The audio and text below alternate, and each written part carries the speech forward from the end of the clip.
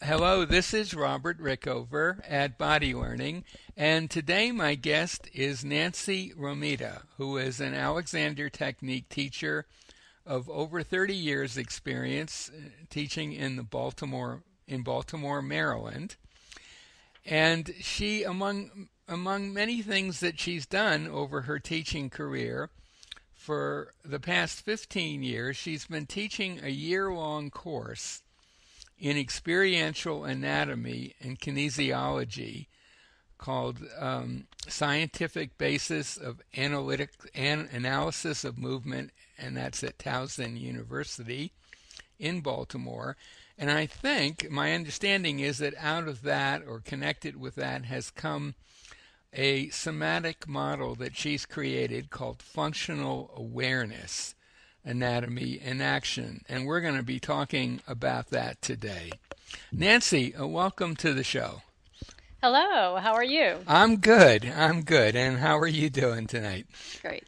Um, so I wonder if you could begin by just giving our listeners a super short description or definition of the Alexander technique.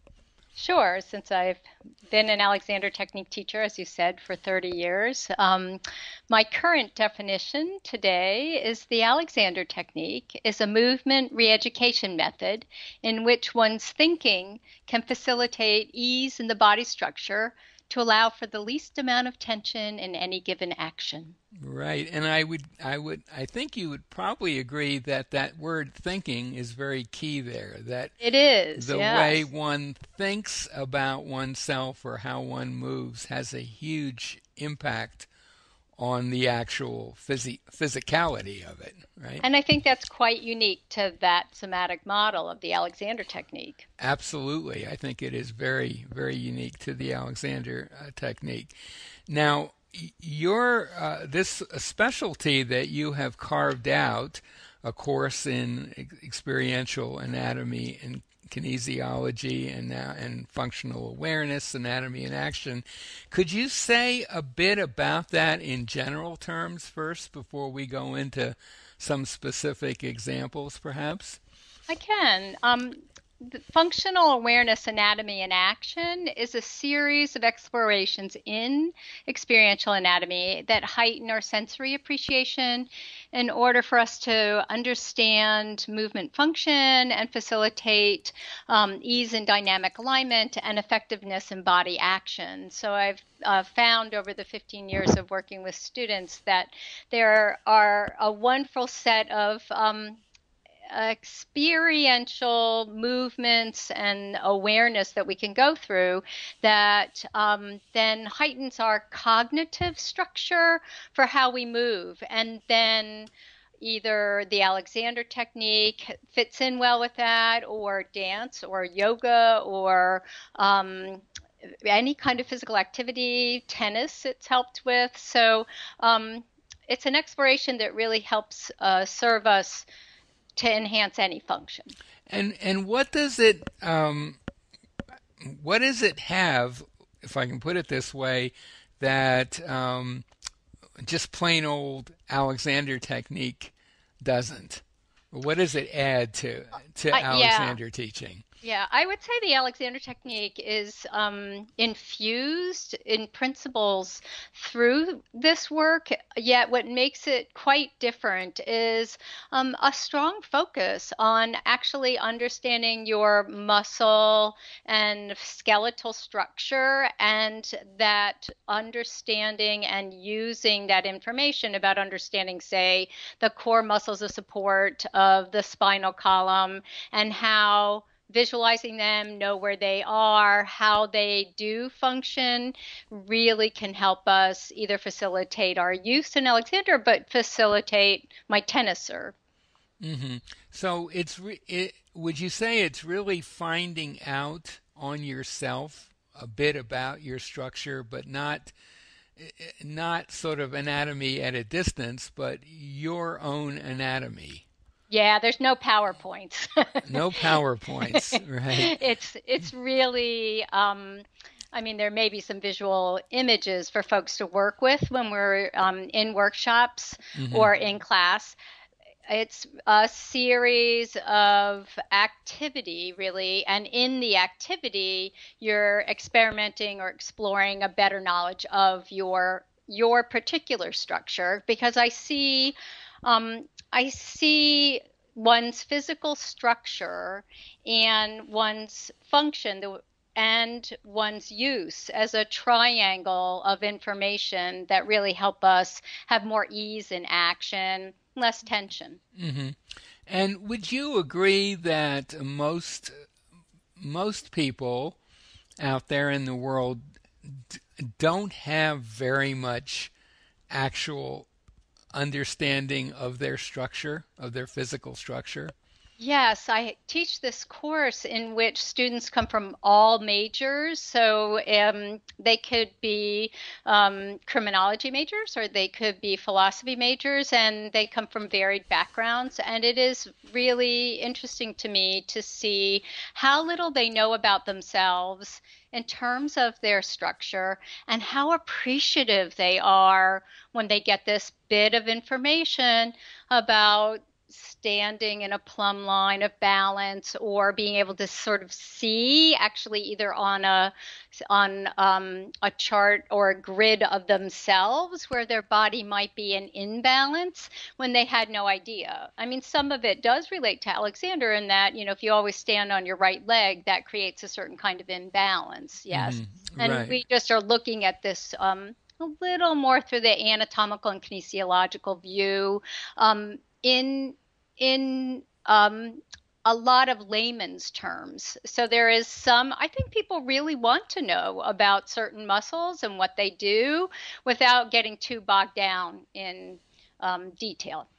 Yeah, in, in my own experience, I, I, have to say that when before I trained to be an Alexander t- teacher, I, I, had gone through high school and university and um, been out and about in the world for some years, and I discovered that I knew almost nothing about what was inside me. Yeah. I had no idea, for example, where my ribs were. I knew there was something called ribs, but it was pretty amazing when I actually saw the first diagram of that and then located them on myself. And. I, you know, and and and the spinal column, I thought it was just like a continuous column. a lot of people think of it like a stainless steel rod yeah, not yeah. very movable, exactly. you know, a flexible structure. Yeah. Exactly. And and I think the you, someone listening might say, well, it doesn't really matter because as long as you're if you're moving, you must be using it okay. But but the thing is that if you think your spine is a, a rod or a solid rod or a straight rod, that's going to affect how you how you move. It certainly does. Yeah. And um, yeah, another example of that too is you know so many people really have no idea where their lungs are in their body, mm-hmm. um, and and so their perception of where that is actually um, informs the manner in which they breathe. So their breathing mechanism may not be as efficient as it could be. Um, and just knowing where something is and its function, so that's not just where it is, but how it moves, people will change with just understanding the knowledge and change in a way where they're moving more efficiently, breathing more efficiently. Um, yeah. Yeah, and uh, in, in my own experience of teaching, um, it, it, to just kind of echo what you just said, when people learn, for example, where their head, um, what the connection between their head and their spine is, and where yeah. it is, and how it functions, yeah. for most people, that's way different than they imagined if they were imagining it all before. And just that piece of information um, learned in an experiential way, so they're not just looking at, at diagrams, but actually locating on themselves that joint, that makes a huge difference in how they function even and they can feel that difference in their own tension level. Almost and, instantly almost yes, anybody. Yes, yes, yes, that's true. And i had a student come up to me just today uh, giving a final uh, we call them a final practicum. They're allowed to choose any activity that they want. Um, and they're kind of practicing the functional and awareness practices. And um, the student at the end just said, you know, this class was mind blowing for me. And she said, from the first day when I realized how far forward in space my head was and how much tension it took to hold it there. And um, so, yeah, I do think, you know, certainly that links up to the Alexander technique in a really nice way um, because we do look at that head, neck, spine balance. Right. I mean, I think that's one area that most Alexander teachers uh, or most Alexander students certainly would get some information about. Uh, just in general with Alexander lessons, but I am assuming that you're going quite a bit further. For example, how your shoulders attach to your torso, how your hip joints work, that sort of thing, right? Yes, and we, you know, kind of look at that.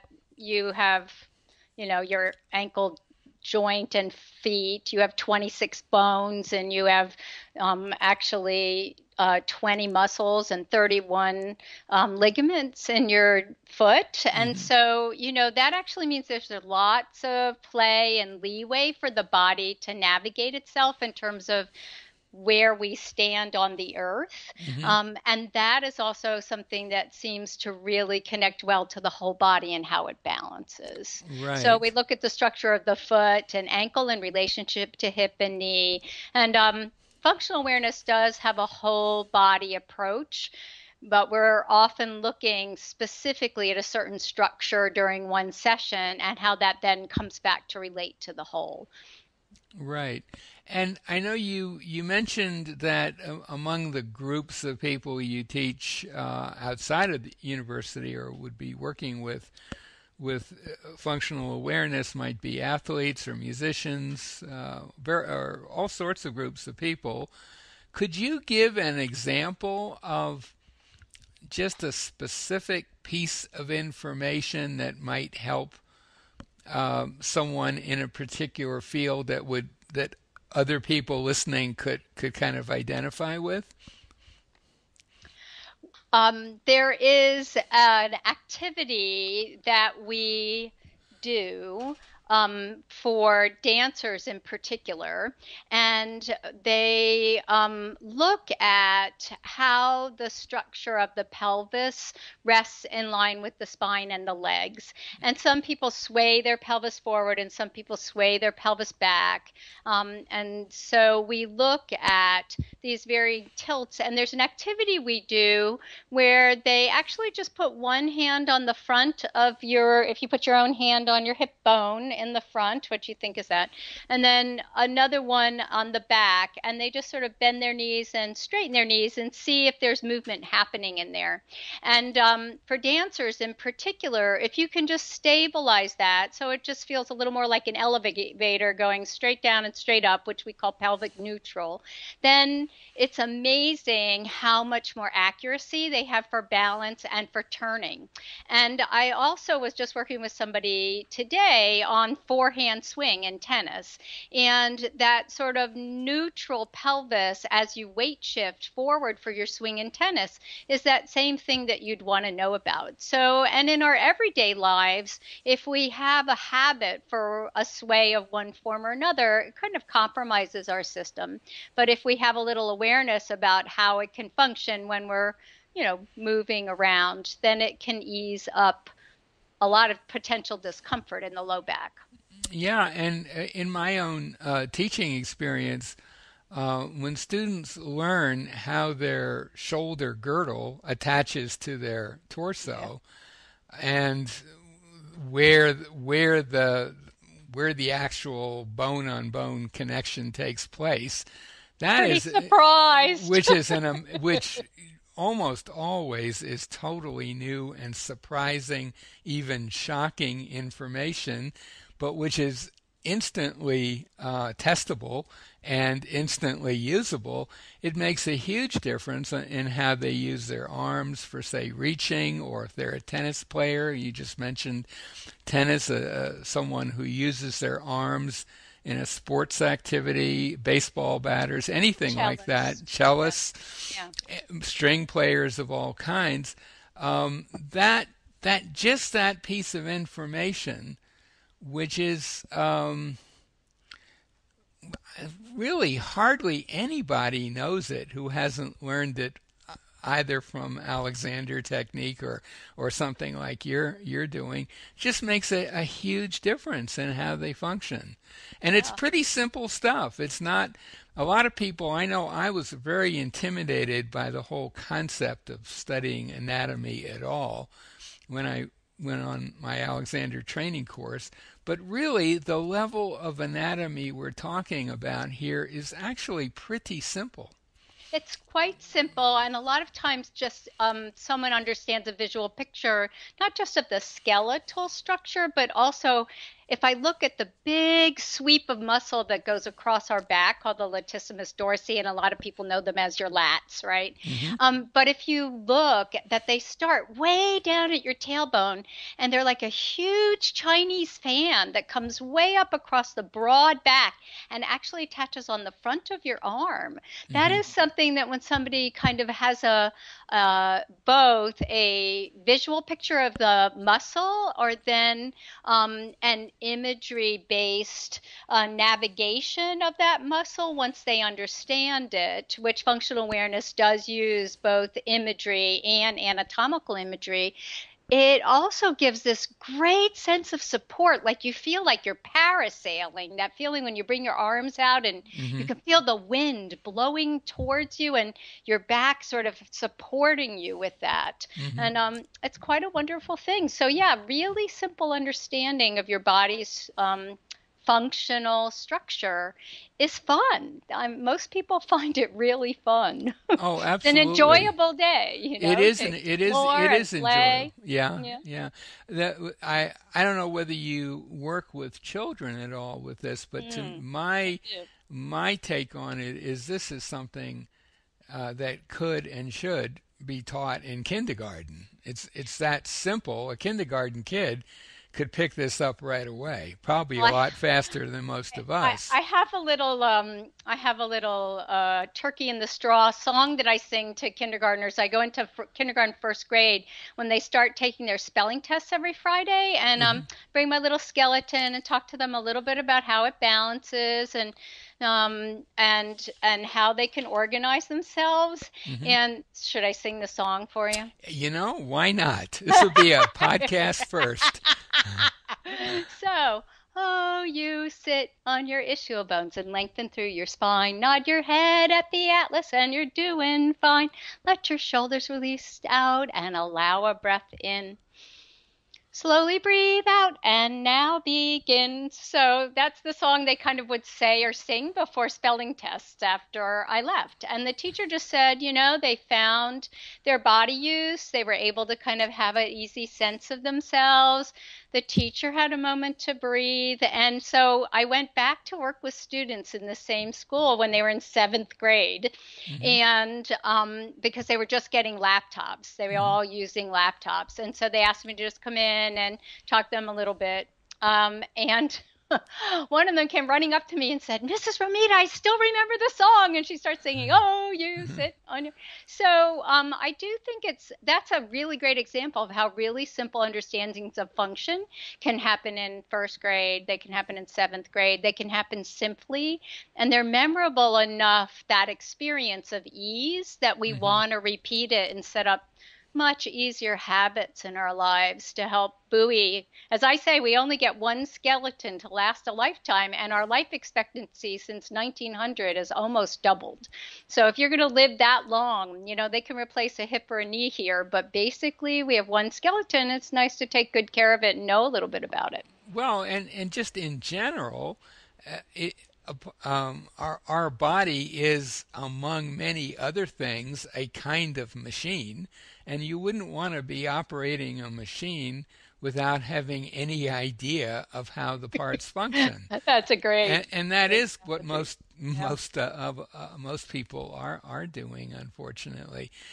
Um, Nancy, is there anything that we haven't uh, covered that you want to mention before we come to an end?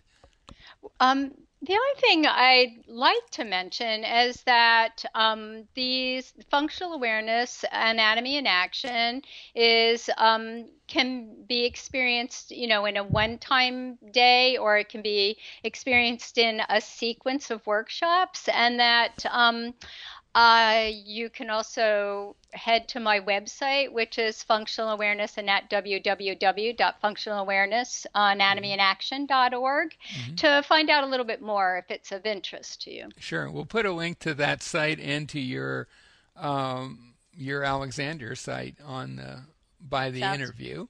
Sounds great. And um, my just to reiterate, my my guest today uh, has been Nancy Romita, uh, an Alexander Technique teacher and the developer of um, functional awareness, anatomy in action. Um, and um, she she lives and teaches in, in Baltimore, but I imagine that you're available for workshops elsewhere, right? Do travel? Yes, yes. we're heading to Basel, Switzerland for the International Association of Dance Medicine and Science um, in October to share some of this. So um, certainly we can go, you know, a little closer or a little further.